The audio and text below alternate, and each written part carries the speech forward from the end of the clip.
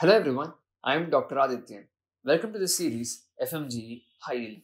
So the topic that we're going to see today is model for early disease detection programs. So as you all can see that uh, a disease timeline has been established over here. That is, uh, firstly there is disease onset and then comes the first possible point of detection of a disease and then the final critical point of diagnosis and then the usual time of diagnosis. That is when the patients usually come up with symptoms and then they come to the doctor. And then finally, the final outcome A. So, with this in mind, we can now easily establish the definition of lead time. This is a very important definition in PSM, and that is uh, the time period between the first possible point of detection of a disease up until the usual time of diagnosis. So, the time period between these two points is actually called as lead time.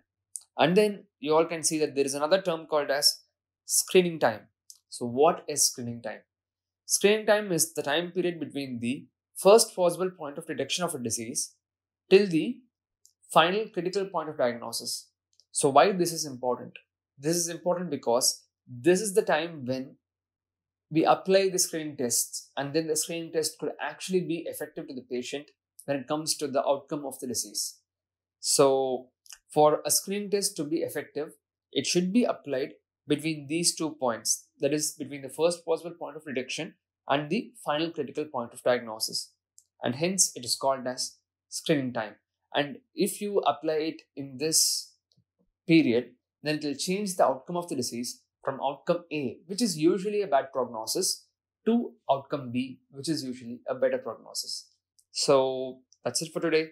We've established the definition of lead time and then what is screening time and then the importance of screening time so that's it for today.